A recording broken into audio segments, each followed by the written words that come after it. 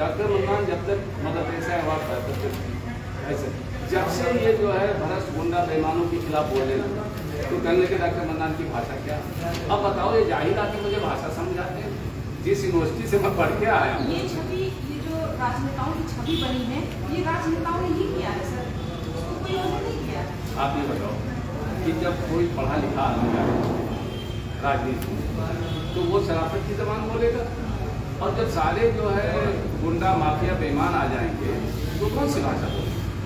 भाई, उनकी तरबियत ही वही हुई इससे पहले जब भी कोई होता है अलैहि वसल्लम को अल्लाह ताला ने भेजा तो 40 साल तक उन्हें बताया गया कि ये जो है सादिक, ये अमीन ये अमानत में खयानत नहीं करती। चालीस साल तक उनको इस तरह एज ए मैन प्रोजेक्ट किया अल्लाह ने। है ना? चालीस साल के बाद उनको पैगम्बरी अदा किया ठीक है? तो ये तरीका आज उल्टा हो गया चालीस साल के डाका मारो चालीस साल की की की और उसके बाद हिंदू हो तो महाराणा प्रताप बन के अत्याचार हो रहा है और मुसलमान हो तो बिराबर बन गया तो इन्हीं बरस बेईमानों के खिलाफ पढ़े लिखे स्वच्छ के लोगों को मैदान में आना होगा। और इनको गालियाँ देने से कार्यक्रम में काम नहीं बल्कि पुरुषार्थ होना चाहिए। पुरुषार्थ का मतलब आप समझती होंगी।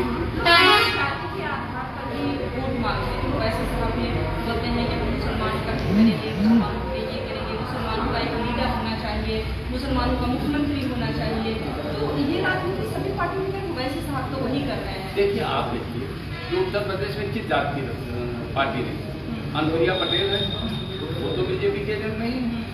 शिवपाल यादव जी ने पार्टी बनाई पूरे समाजवादी पार्टी को बेमान कर दिया बर्बाद कर दिया।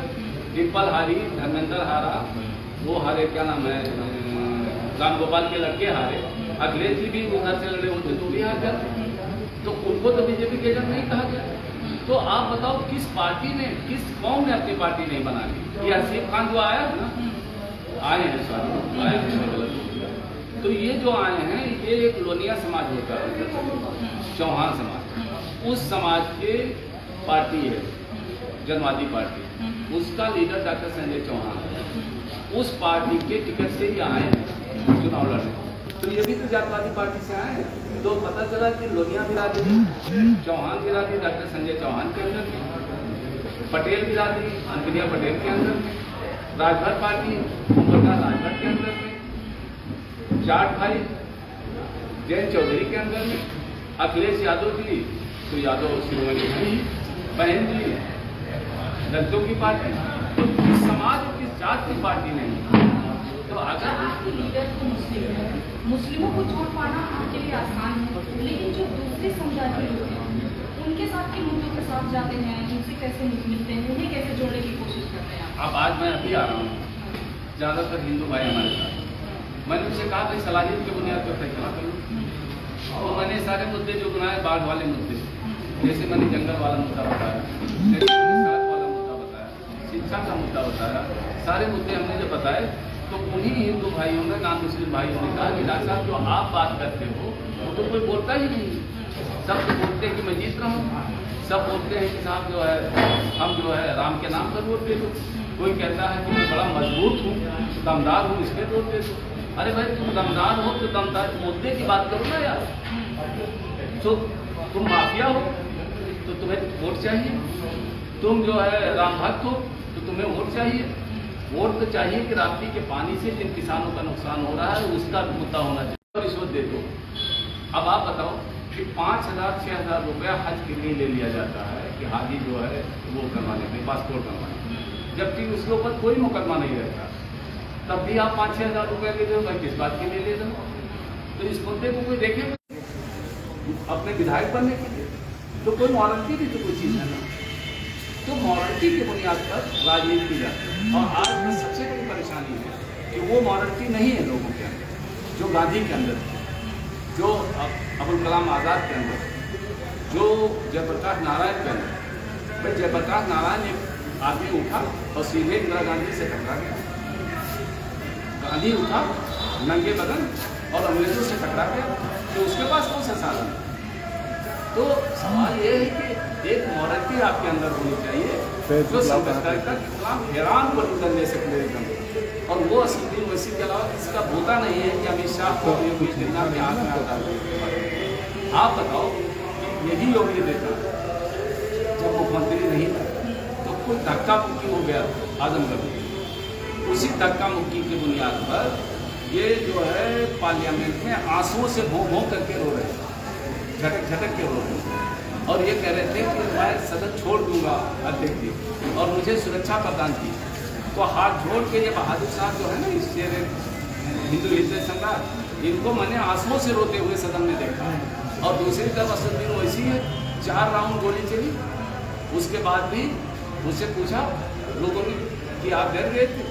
तो बोला, नहीं, मैंने कलमा पढ़ दिया था, सोचा था अल्लाह से मिलने का वक्त आ गया। और सदन में वही आदमी जाता। तो सदन में वो आदमी अपनी बात तो रखता है, लेकिन जब उसको जब सुरक्षा दी जाती है तो कहता है, इसके हकदार अखलाक को पहलू खान, गांधी के बाद अगर कोई मुआवज पैदा हुआ इस देश में, और जिसने सुरक्षा को ठुकराई है तो असुद्दीन वैसी ने ठुकराई है, वरना बताओ कौन सा पॉलिटिशियन छोड़ाएगा? अपनी सुरक्षा बनाए सुरक्षा से इनकार करे। तो असुद्दीन ओवैसी ने तो सुरक्षा को ठुकराया कि एक जब तक आम आदमी सुरक्षित नहीं होगा तो वो सुरक्षा लेके करूँगा यही बात तो गांधी कहते थे कि भाई जब तक आम आदमी को सुरक्षा नहीं हो ना गांधी भी बैरिस्टर थे। गांधी भी आराम से रह सकते तो मेरे कहने को मतलब कि इस वक्त देश में सीधे से सीधे मोदी की संप्रदायिकता से, योगी से संप्रदायिकता से हैरान पॉलिजन देने का मौका जैसे सदन में पहुँचते हैं पार्लियामेंट में भाषण दे रहे हैं।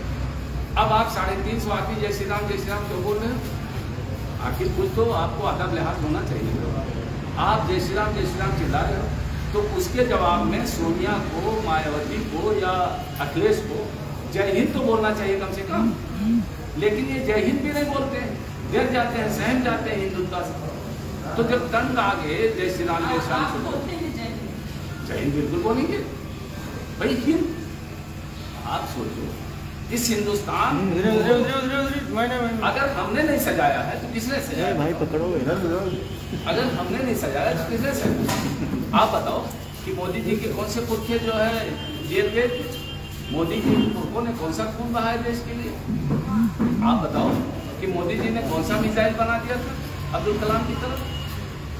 कौन से अब्दुल हमीद हमीद के वंशज कि वो जो है बहुत बड़े बहादुर हैं। तो काम किया हमने। पाकिस्तान के टैंकों का रुख मोड़ा अब्दुल हमीद बन के हमने। देश को मिसाइल दिया हमने। तो ये जो है अब्दुल कलाम को भी नहीं माफ़ करेंगे ये अब्दुल हमीद को भी नहीं माफ़ करते। ये चाहते हैं कि हमारे तरह से हमारे यहाँ मजदूर बन के रहें। डॉक्टर मल्लानी ने M B B S M S दिखता है तो ये बहुत बुरा लगता है कि ये तो मेन स्ट्रीम में आ रहा है। शाहरुख खान इन्हें बुरा लगता है क्योंकि वो टॉप पर है। सलमान खान इन्हें बुरा लगता है वो टॉप पर है। उनको जो है आमिर खान बुरा लगता है वो टॉप पे इमरान वो क्या नाम था वो इरफान जो भी मरा है? नहीं इरफान इरफान खान। इरफान खान क्योंकि साइड रोल में वैसा काम करता था काम आर्ट आर्ट फ़िल्मों में काम करता था। ये कह रहे हैं इरफान तो हमें पसंद है लेकिन शाहरुख खान नहीं पसंद है सलमान खान नहीं पसंद आमिर खान नहीं पसंद। यानी कि टॉप पोजीशन पे तुम्हें कोई नहीं पसंद। हमें आप टॉप पोजीशन पे नहीं देखना चाहते। आप एहसास कंपनी से शर्मिंदा हो अपने बुद्धिनी से शर्मिंदा हो अपनी हरकतों से शर्मिंदा हो अपने इतिहास से शर्मिंदा हो। इसलिए आप हमें टॉप पर नहीं देख सकते।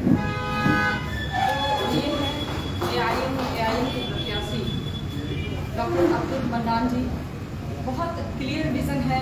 हमने ज़्यादा जानने की कोशिश की डिटेल में इनसे सवाल करने की कोशिश इसलिए की क्योंकि जो लोगों में भ्रम है कि नहीं, ओवैसी साहब सिर्फ़ मुसलमानों के हितैषी हैं और मुस्लिम समाज के लिए ही अच्छा कर सकते हैं अच्छा सोच सकते हैं। जो लोग ये कहते हैं कि संसद में ओवैसी साहब सिर्फ़ मुसलमानों के हक की आवाज़ उठाते हैं। इसीलिए ओवैसी साहब से तो हम नहीं मिल सके अभी तक, लेकिन अच्छे खासे ये कह सकते हैं, प्रवक्ता के तौर पर, एक प्रत्याशी के तौर पर हमने आईएमआईएम के जो विजन है उनको जानने की कोशिश की है। इस पर आपकी क्या राय है? ज़रूर दीजिए, देखते रहें नेशनल